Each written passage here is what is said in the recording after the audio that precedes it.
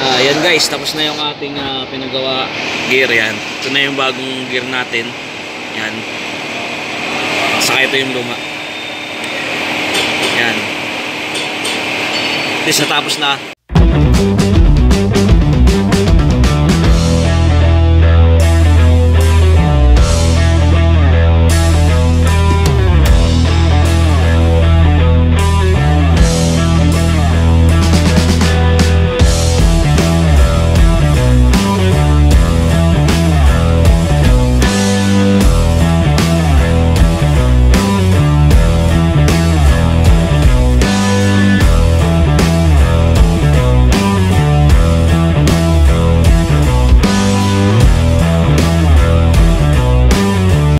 Good morning mga katek. Yan, isang magandang umaga na naman sa inyo. Ah, welcome back again to our channel, Rems Tech. Yan. Gagawin natin ngayon is ay yung ating isang rides na uh, Dansen Sigel. Sana makuha na natin yung ating gear. May kabit na natin yung yung ating gear sa Dansen Sigel para mapagana na natin ngayon yung ating ah, rides. Yan. Samahan nyo ako guys gawin natin yon kunin natin yung gear sa paggawaan sa machine shop. Kunin natin. At yan samahan nyo ako. Tara. Yan mga katek nandito, na, nandito na tayo ngayon sa ating technician room. Ngayon ah, mamaya pa naman tayo pupunta sa sa sa machine shop para kunin yung ating ah, gear na pinagawa sa nga sa machine shop. Yan. Ah di bali ang gagawin muna natin ngayon daily daily routine tayo check tayo ng mga rides. Ayan. Check natin isa isa lahat ng rides kung okay ba siya o may problema ba para sa pagdating sa hapon pag open ah yun, wala, wala tayong maging problema, wala tayong maging tawag sa gabi. Yan, check natin guys. Samahan niyo ako guys sa pagche-check. Yan. Tara, samahan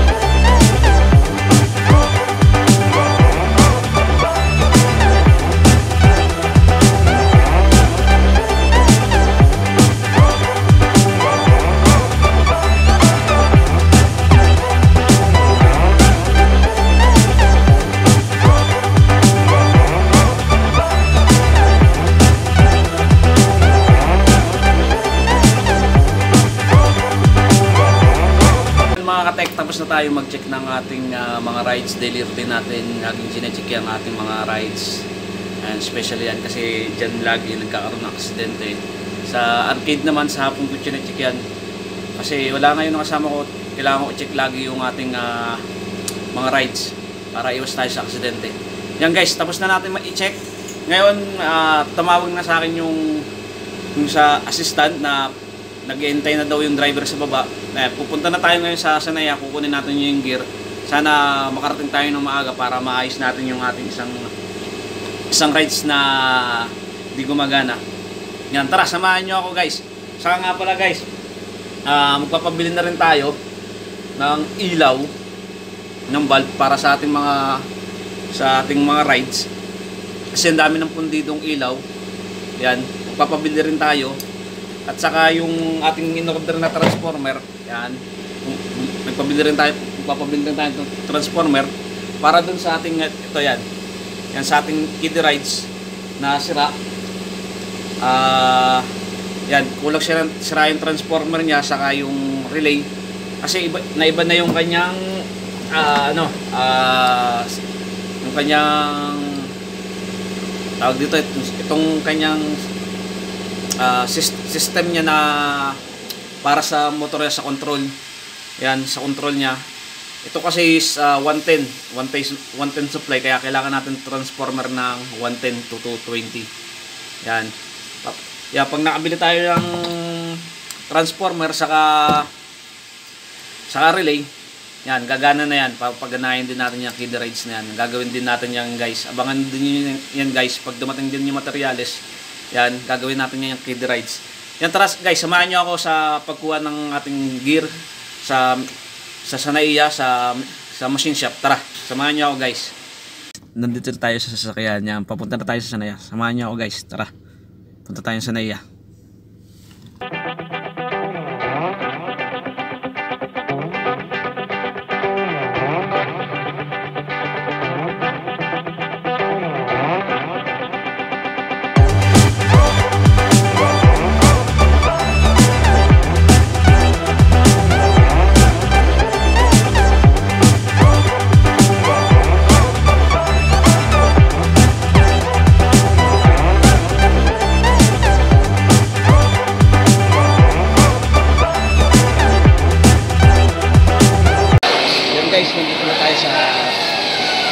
Shop. Kukunin na natin yung ating pinamachine shop na gear.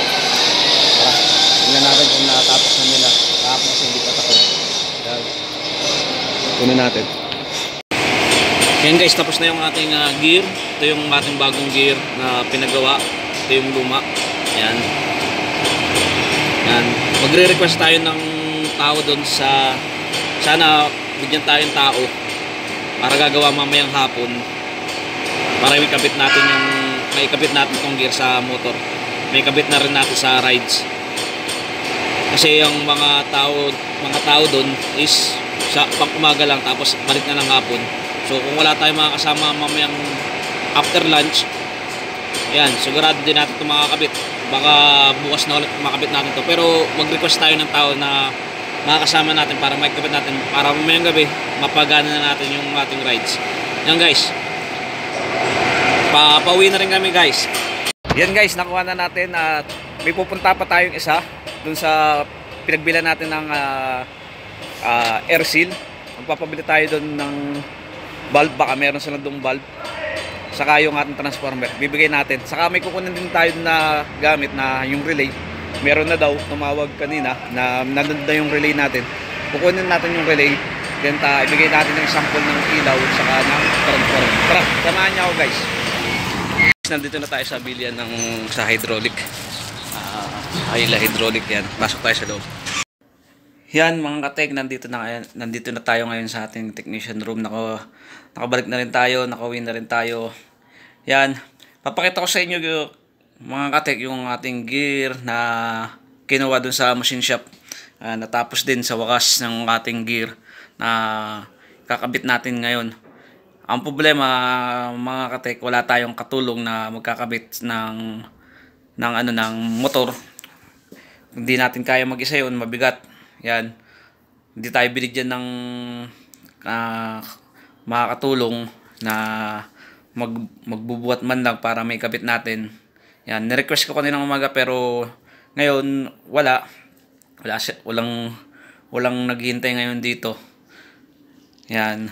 Kaya ang gagawin lang na natin guys, ah, mga katek, baka siguro isalpak lang natin tong ah ah, tawag dito, itong gear. Then bukas, saka natin kabit yung motor dun sa mismong ah eh, ang Dansin Sigel, sa mismo Dansin Sigel, kabit natin. Yan. Pakita ko sa inyo mga katek, yung gear na pinagawa natin. Yan mga katek. Ito yung ating ah, pinagawang gear. Ito. Ito yung bagong gear na pina, pina, pinamachine shop natin. Pinagawa natin. Yan. Saka ito. Ito yung luma.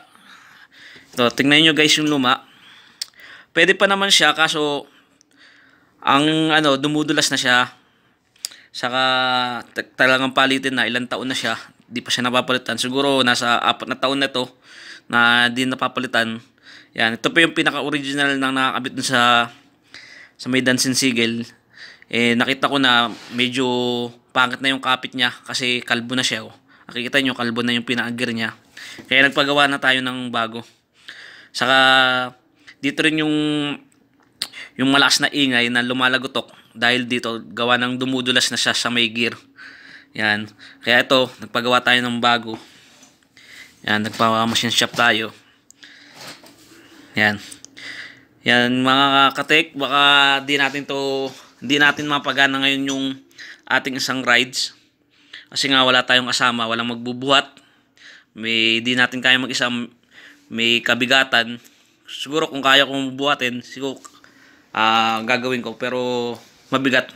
Di natin kaya baka siguro kumuha tayo ng dalawang tao bukas na magbubuhat at para maisalpak natin yun sa ating ah, rides. Yan. Yan, ah, mga katek, papakita ko sa inyo saan nakalagay yung motor. Kaya, di ko kaya mag-isa to. Kailangan talaga ng kasama para may kabit to. Kasi, ang isang problema is, mabigat nga tong ano, yung gear. Tapos, kailangan nating itornilyo ng mabuti. Yan, kailangan natin ng kasama. Pero ang gagawin natin ngayon is, ikakabit lang natin yung gear sa motor. Tapos bukas na natin isalpak sa mismong ano niya, sa mismong sa dancing sigil sa mismong sa lagayan niya sa dito sa rides. Yan, ipapakita ko sa inyo guys at mga katek yung ating ah, gears tapos yung ating motor sa saan siya, saan siya nakalagay. Yan. Ah, yan. Ito yung mga katek, ito yung ating ah, motor saka yung gearbox. Yan. Yan, ang naging problema nito mga kagir is yung nasunog yung kanyang ano, yung kanyang coil. Gawa ng nag-loose, nag-loose yung kanyang wire sa loob. Tapos na nag nag-spark tapos nag ano siya, nagdikit dito. Yan. Kaya pinagawa natin 'yan. Pina pinagawa natin yung wiring sa loob. Yan. Tapos yung sa loob din, maingay din yung sa loob. Pinaayos din natin. na may nakita silang sira doon sa loob. Ah, sira na yung gear, pinalitan din nila. Yan, dinala rin natin to sa sanaiya. Ta pinagawa din natin kasi wala tayong tools dito sa technician room. Yan, kaya pinagawa natin. Ito, ito yung ating bagong gear. Yan. Ikakabit natin tong gear. Gear dito sa ating ah, lagayan sa saan siya nakalagay. Yan, lagay, ilalagay natin dito para bukas itong motor isasalpak na lang natin dito sa kanyang lagayan. Yan. Ah, eh, ikot natin. Yan. Yan. Diyan siya nakalagay mga katek. Yan.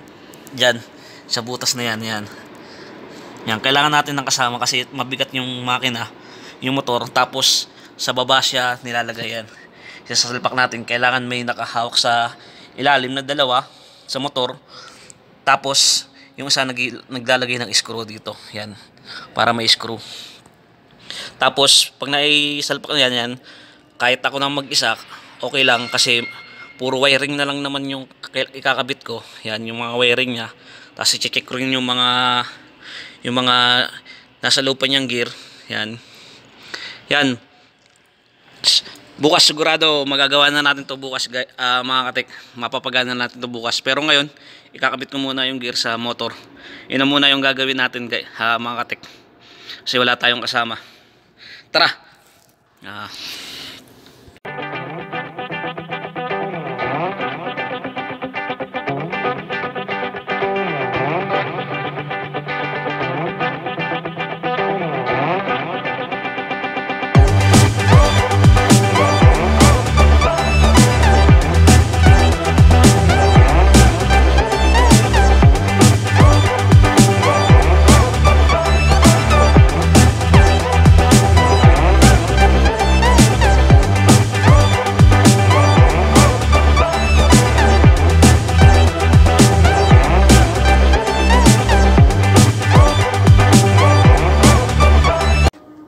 Yan mga katek, naikabit na natin yung gear. Yan. Hindi pa si- di ko pa masyado siya nahigpitan. Siguro pagkabit na lang natin sa taas, pag nailagay na natin, higpitan na siya natin, higpit, higpitan na siya ng maigi. Ngayon, di pa siya masyado mahigpit. Yan. Since naikabit na natin yung ating gear, yan. I-check na rin natin yung oil sa kanyang ah, gearbox. Ito. Ito yung gearbox niya. Ito yung gearbox niya. Yan. Check na rin natin yung oil. Ah, tingnan natin kung ah meron siyang oil na nilagay yung sa sa pinagawa natin kasi di naman di niya sinabi sa akin na nilagyan niya ng oil to. Baka ginawa lang nila tapos din nila nilagyan ng oil. Tapos paganayin natin masira ulit yung ating gear. Yan, tingnan natin guys yung loob kung may oil siya. Yan, tara. Tara, tingnan natin.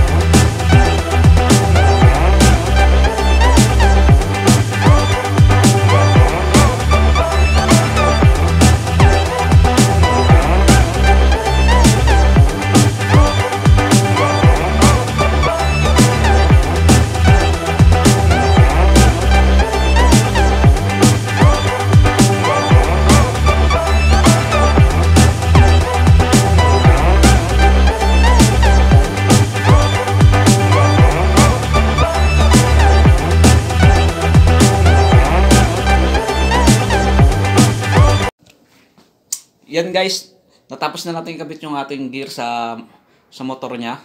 Yan bukas, isasalpak na lang natin siya.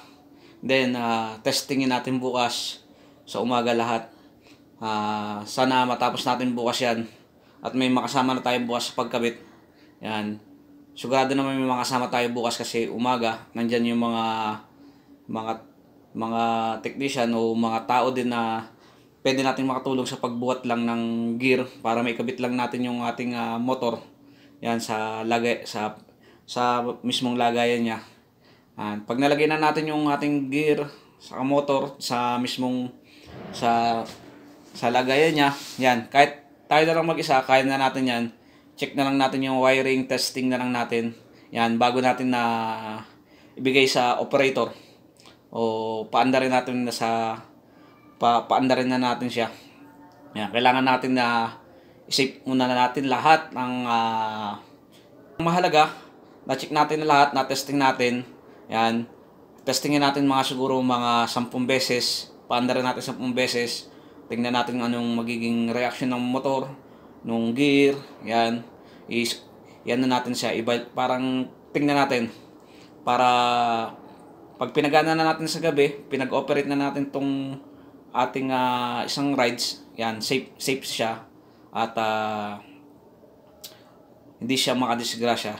Atek, nandito na tayo sa ating ah, accommodation. Uh, pahinga na tayo isang mahabang araw.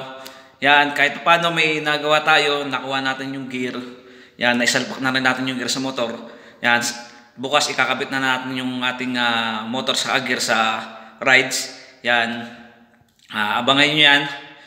Tapos guys, mga katek, kung nagustuhan nyo itong video na to, ah, paki ah, like lang and uh, pakipisa na rin yung subscribe button at ah, bell para manotify kayo sa susunod nating ah, video. Lagi tayong mag-ingat and God bless all. Thank you for watching guys. Ciao!